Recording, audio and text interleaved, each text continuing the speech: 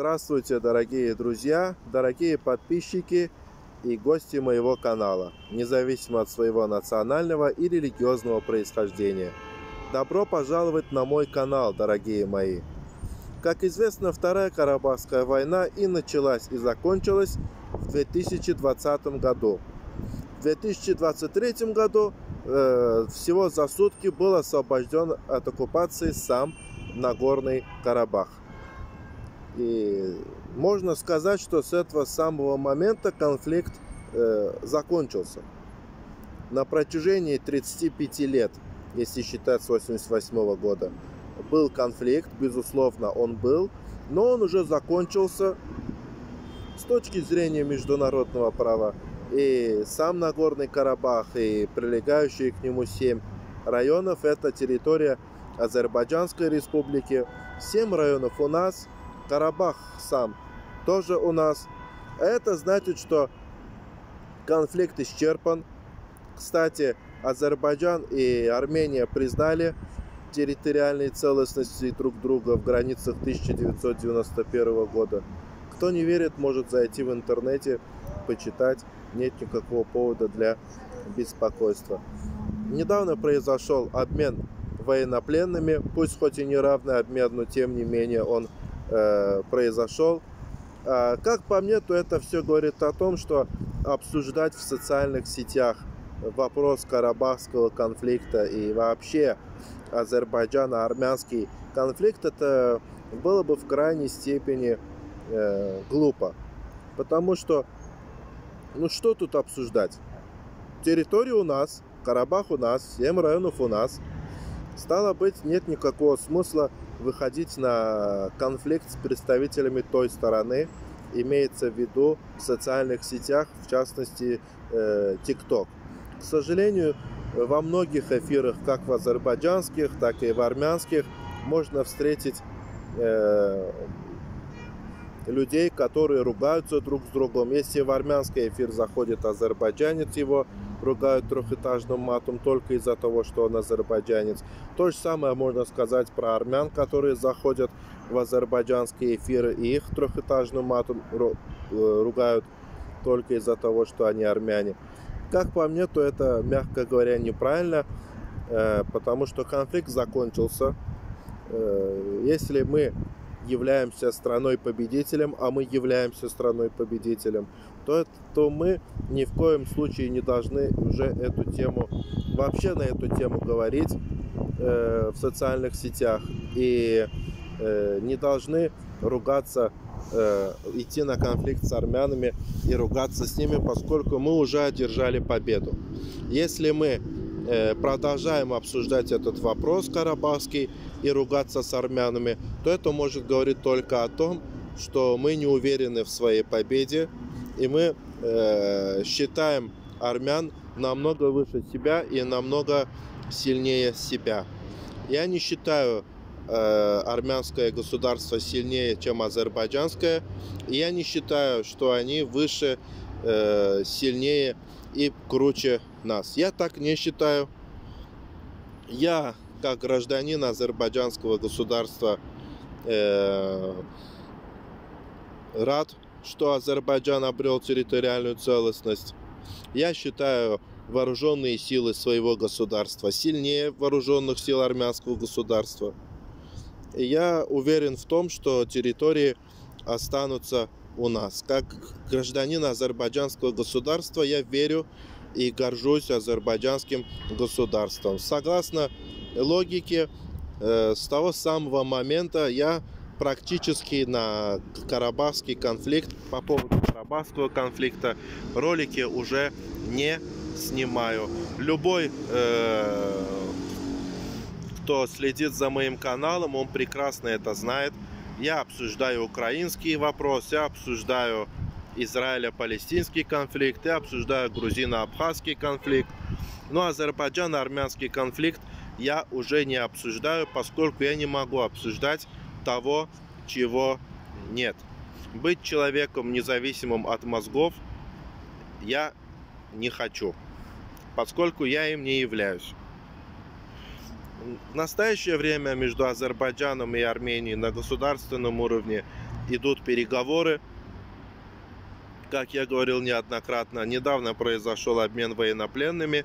Это уже первый э, шаг к тому, что мир не за горами. Я надеюсь и верю в то, что мирный договор будет э, подписан. Что касается того, что Ереван безимдир, Зянгязур, Гёйчамахалы безимды, я по поводу этой тематики могу сказать только одно, что я признаю только и только международно признанные границы, которые есть в уставе Организации Объединенных Наций. И я признаю только границы 1991 года. Как Армения признала. Э, территориальную целостность Азербайджана в границах 1991 года, так, так и Азербайджан признал границы Республики Армения в границах 1991 года. Я как гражданин азербайджанского государства, безусловно, разделяю позицию официального э, Баку по данному вопросу. Безусловно, за 35 лет была не просто война, а целых две войны. Огромное количество людей потеряли своих родных и своих близких в период данного конфликта. Это, безусловно, очень печально. Э, это большое горе в семьях погибших э, людей безусловно, виновные э, в этом преступлении, а я считаю, что это преступление, и, безусловно, виновники обязаны понести за это наказание.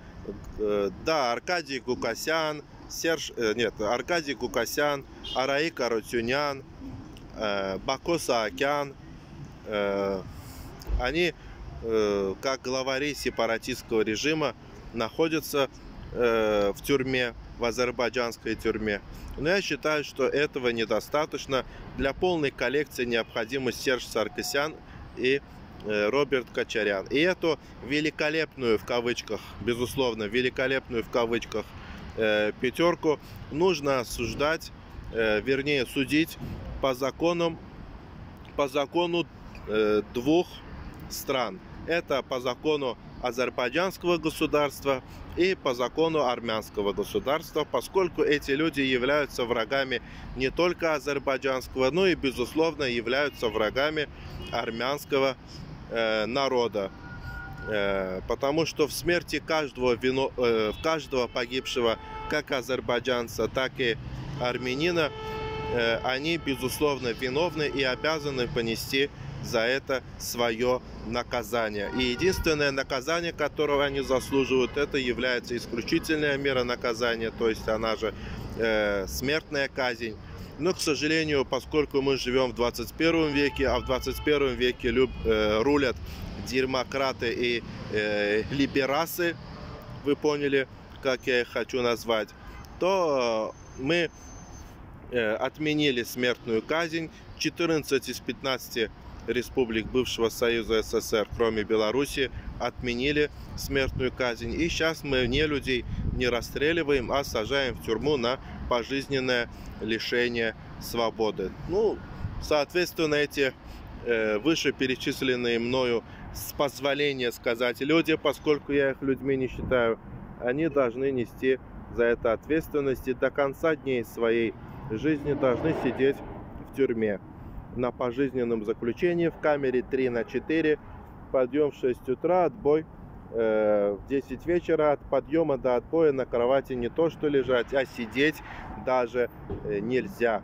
И было бы э, просто замечательно, если бы в камере у этих негодяев был бы огромный э, плазменный экран, и чтобы на этом экране э, демонстрировались, вернее, показывались фотографии каждого убитого э, военнослужащего, как азербайджанской, так и армянской армии. И чтобы там также были видеозаписи, на которых родные и близкие погибших военнослужащих азербайджанской и армянской армии говорили этим, э, с позволения сказать людям, свои самые наилучшие, ну в кавычках, наилучшие пожелания, без всякой цензуры, что хотят, то и говорят. Данные ситуации можно сделать исключения. Конечно, обзываться это не есть хорошо, но данные люди, безусловно, этого заслужили. Я как э, гражданин азербайджанского государства и как представитель одной из двух э, сторон, э, со своей стороны могу сказать, что я искренне надеюсь и верю в то, что в э, Азербайджан-армянский конфликт закончился. Я надеюсь в это, я верю в это. Нет, я знаю, что он закончился. Я надеюсь на то, что больше никогда между азербайджанцами и армянами войны не будет. Мы стрелять и убивать друг друга больше никогда не будем. А когда в третьих странах, ну, когда будем ездить за границу, пересекаясь друг с другом, даже если мы не будем э, друзьями, то я надеюсь на то, что мы даже реагировать э, друг на друга не будем. То есть будет абсолютное безразличие э, друг к другу. Мы не будем замечать их, они не будут замечать нас.